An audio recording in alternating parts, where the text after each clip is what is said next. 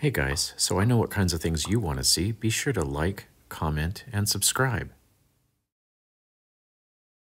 Hey everybody, what I want to talk to you about today are these ubiquitous IHC, AHM, and Rivarossi passenger cars. And I'm pretty sure what I'm showing you here is one made by IHC. And I've got another one here in the package made by IHC. Now, these are really popular and people sell them relatively inexpensively on places like eBay and on Facebook and in other forums. And I suppose there's a lot of debate as to whether these are prototypical or whether these are quality. And my thoughts on the matter are that I use them, they're quality enough, particularly when viewed from more than three feet away, which is where I view my uh, train layout most of the time. And you know they're they're colorful. Sometimes yes, they're not prototypical, but that's fine for me. I don't mind that very much at all. Um, what I can usually kind of deduce here from what I've seen on the internet is, regardless of whether it's branded AHM, IHC, or Rivarossi, these are actually all made by Rivarossi. And um, because of that, they all have some problems that um, kind of span across that entire board.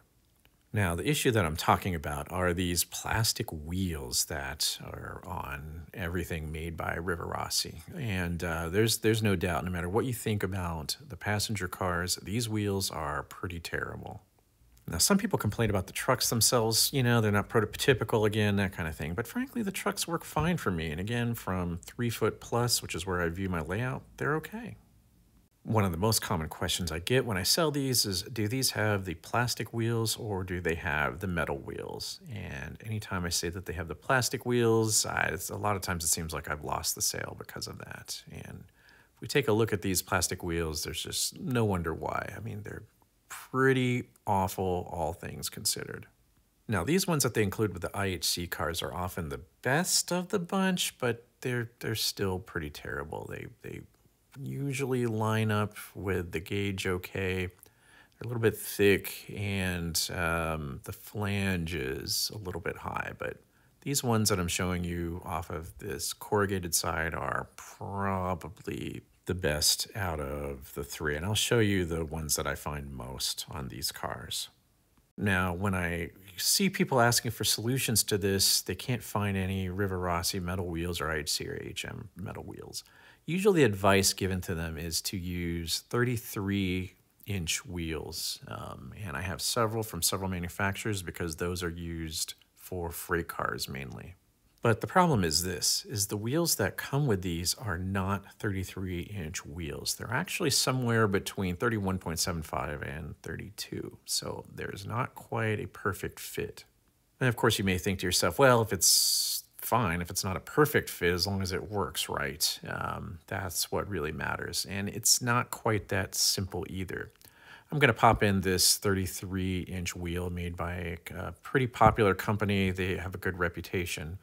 And what happens is, is this brake shoe has a tendency to squeeze up against the wheel. And so it doesn't spin perfectly freely. Now, it's not bad.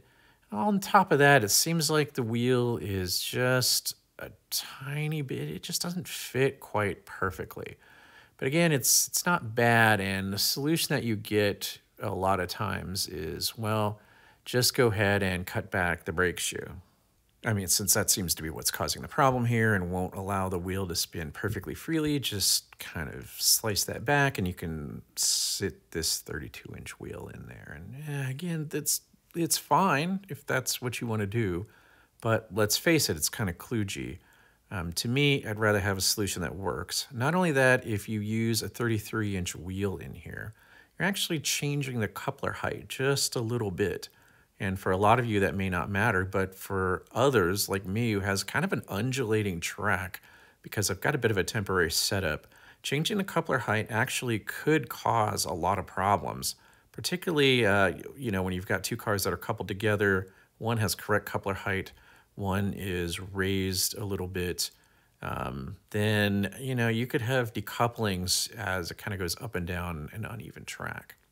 Here I've got another manufacturer's 32 inch wheel and I'm going to pop that in there. And this one is just simply too tight. Um, if you look, you can tell it's 32 because it sits in there just pretty much like the other one. But again, it rubs up against the brake shoe. Now, of course, you could be saying you're getting your money's worth because that's what the brake shoe is supposed to be doing. It's supposed to be stopping the car, but I just don't think this is something you want while you're running this on your track. It could cause derailments. Certainly puts more strain on the locomotive that's pulling these.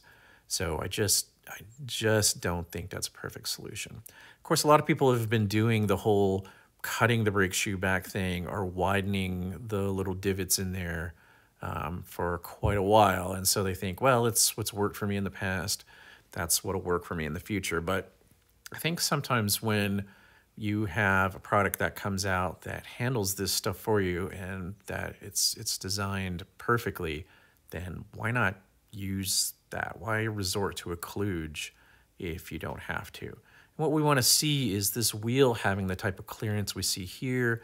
It doesn't rub up against the brake shoe and it spins perfectly fine. Now if I take the purpose-made wheel um, and stick this in, we're going to see if it acts the same way as the plastic wheel that originally came with this truck. So we get it in here to, of course, take time to pry the sides apart, make sure it's in the little divots that it's supposed to go in. And once we put it in there, make sure it's in there, um, it rolls perfectly smoothly. And as you can see here, it, it spins quite freely. And uh, it looks like the original OEM plastic wheel. It clears the brake shoes and it fits into the little divots perfectly. So I think that's great. This is, I, I have a lot of these AHM IHC Rivarossi cars and I've been looking for a solution, and these wheels, um, which are made by a company called Roll-Tru, by the way, it looks like it's a pretty new company, they will do the job. Okay, and just to kind of prove the point again here, I'm going to take this um, IHC um, corrugated Bud passenger car, which has these, um, again, these plastic wheels in them, and I'm going to put in the 33 inch metal wheel made by the really um, reliable and trusted manufacturer. I'm going to pop them in here. And um, again, we're going to see that they seem to fit decently in the divots for what it's worth, although you can't feel it, I can. There's just a little bit of pressure. But if you try to spin it, um, again, it's, it's rubbing up against that brake shoe, whereas um, the OEM plastic wheel is not. So um, not only that, again, it rubs up against the brake shoe, but it also seems to just fit a little bit tightly. Um, so we sit here and we try to spin it and it has friction and maybe this is good enough for you, but again, I, I don't think it's such a great idea. So we go ahead and pull that out and grab the wheel by Roll-Tru that's made for it. If I can get, if I can get it here. It's hard to do this while looking at the camera at the same time. Here we go. Um, it is the wheel made by Roll-Tru. We pop that in there. Get it in. It's hard to do this while I'm looking through the camera. Uh, get it in there. Pull on the side a little bit. Make sure it sits down in that divot properly. There we go. Yeah, I think it's in there. No, not quite. Come on, get in there. Seems to fit well. Uh, we spin the wheel, and again, it, it spins freely. Let's see if I can get this into the camera. Seems to spin freely, just like the OEM plastic wheel does. And that's what we want. We don't want, um, you know, we don't want to put any extra strain onto the locomotive. Also, they're freer spinning. They'll, they'll get over your points more easily. They'll get through your turns more easily. Um, and that's exactly what we want. Okay, let's take a look at this IHC um, heavyweight car. And uh, again, I'm to show you how to properly size these. So um, if we go in here and this wheel spins fine, pull this out. Ah, come on, get out of there. I'm to pull one of these out of here anyway. There we go. And just like before, we find the equivalent Roll-Tru wheel. And uh, again, I'll, I'll, show you how to size these here in a minute. Pop it in there. Um, this is a slightly different size, so it fits fine. It doesn't feel like it's straining the truck at all. Feels like it's sitting in there pretty well.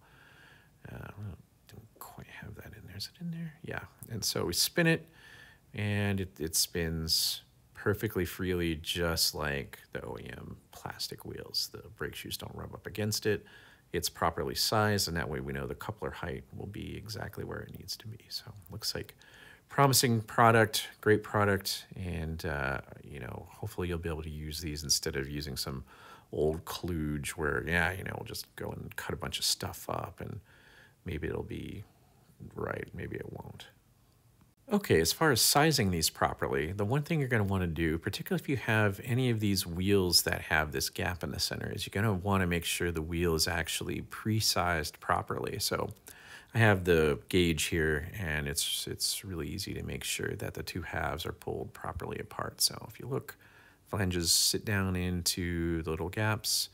Um, you know, if they look like this, uh, you know, you're going to want to make sure that, again, you size the wheels properly, particularly the width, so that um, they fit properly here in a gauge. If you can't tell, you know, try to find some wheels you know are good and make sure that the flanges line up with those. Okay, when it comes to properly sizing these and getting the right product, um, what you're going to want to make sure is you're going to know which wheel you have beforehand. And these two are particularly problematic because they look very, very similar. They don't look very similar from the ends, but if you notice, actually the centers are quite different. And one of these is wider than the other. One of these will have a center gap of around uh, 1 eighth of an inch. So if you look, it's just under 1 eighth of an inch, but it's definitely more than 1 16th. So that's how you can tell to begin with which of these wheels that you have. And it also shows why they need to be properly spaced from the get-go. The other wheel has right around 1 16th of an inch gap. Let me see if I can get you the ruler here. There it is. 1 16th of an inch. Um, that's the gap on the other one. So they're definitely different in the center. Again, um, 1 8th on the wider one, and um, it'd be about 1 16th on the shorter one. And again, this is why sizing these beforehand is so doggone important. Grab it again, kind of went away. The other thing you're going to want to notice is that one of these has a lot of exposed axle and the other one doesn't. The other one kind of goes straight from the wheel down to a point, whereas the other one has a lot of axle, a lot of shoulders sticking out after the actual end of the wheel. These are the two ways that you can tell which one's which. Okay, well, let's take a look at the first one here, the one with the wide gap and without a lot of, oops, let's try, let's try the one with the wide gap and with very little shoulder. So here it is again. It's just under 1 8th of an inch. And this one doesn't have a lot of exposed axle before it goes to the conical point. Okay, if this is the one that you have, then the Roll-Tru model number that you want is RTW 935248. Here's an example of it. So RTW 935248. And I'll actually put a link in the description for how to go purchase these. Okay, the next three types that you may have to replace are first this one with this 1 16th inch gap here. And um, this is the one that has the kind of exposed axle or longest shoulders before it goes to the conical point. So that's the first one that you're looking for here um, um, if you want to replace this particular type of wheel. Okay, um, the next one that you'll have to replace are these that actually don't have a gap and they're gunmetal gray. And these are the kind that are on the Bud corrugated car here. So if you look, there's no real need to size these properly so as long as there's no gap because they size out to begin with. If you look, there's actually some exposed shoulder, but it's just easier to tell because of this sort of gunmetal gray or kind of lighter than black a little bit shiny, a little bit sparkly plastic. Um, that's what you mainly look for here, okay? The other type I've seen, and they seem to be very rare, are these all metal wheels and um, effectively the way to tell with these metal wheels be careful because these are these are not the most common ones on one side they have kind of a solid black plastic um, inner the other one has this sort of friction plate here that goes up against the axle haven't seen these too often. I, I think I've got a few with them. Either way, if you've got uh, one of these three types, um, the wheel that you're going to replace by Roll-Tru is RTW 935259. Um, they are the direct equivalent and they will go right into any car that has these. All right, now the third type of wheel that you're going to have to replace are going to be one of these two huge, huge flanged wheels. Um, one of them is really popular and the other one I haven't seen very much at all. So this particular wheel has huge flanges. Um, it has one insulated side and the other side is direct press fit. So you can kind of look at it here. It's all nickel plated, it looks like. And um, yeah, I haven't seen them very often. I've only had them on two sets so far that I've received. I don't hear people asking about them very much. But either way, here's what that one looks like. The other one, however, is very common. And again, it is huge flanges. Um, and basically, it's these two plastic slash metal um, parts that are terrible. They fit over this central metal axle. And these things are not very tight fit. They always just come out of proper size, proper width, and you have to sit here and kind of try to coax them back in. I just I can't think of any worse wheel I've seen on um, IHC, HM, Rivarossi cars than these things.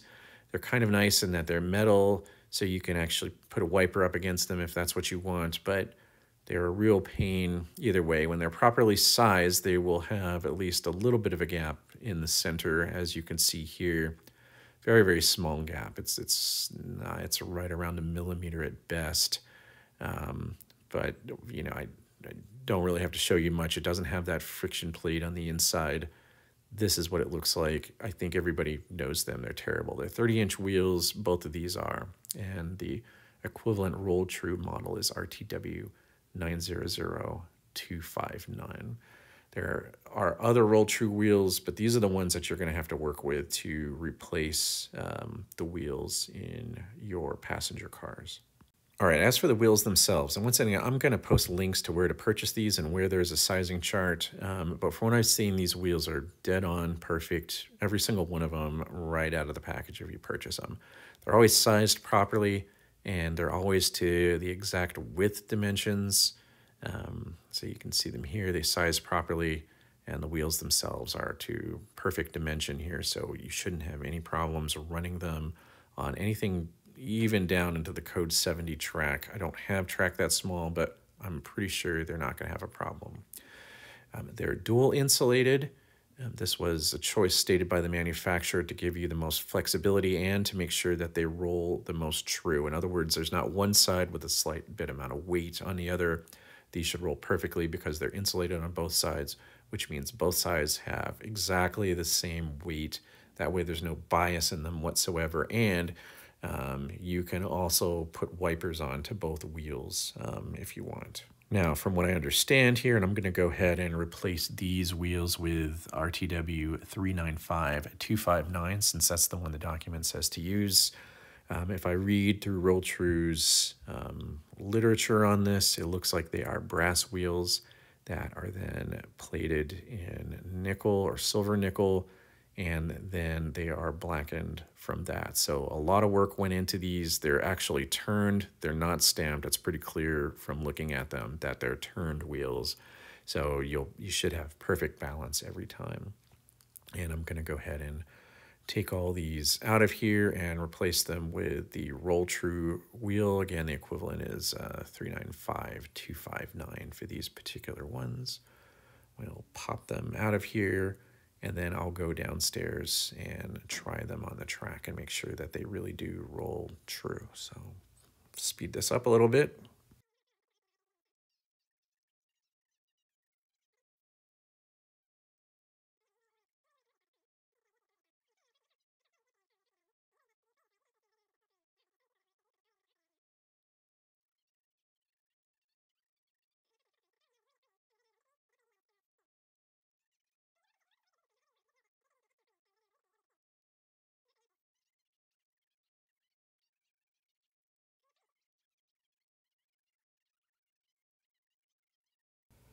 There we go. And again, they're they're rolling perfectly. They're sitting in these little divots, so the sizing chart was correct.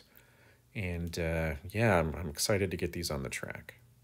All right, you'll see in a moment. I'll put this on the track and roll it around and put it under some power. And I, I, I just don't know what to say. It rolls smooth and it rolls frictionless, and it, it, it really helps the performance of this car quite a bit.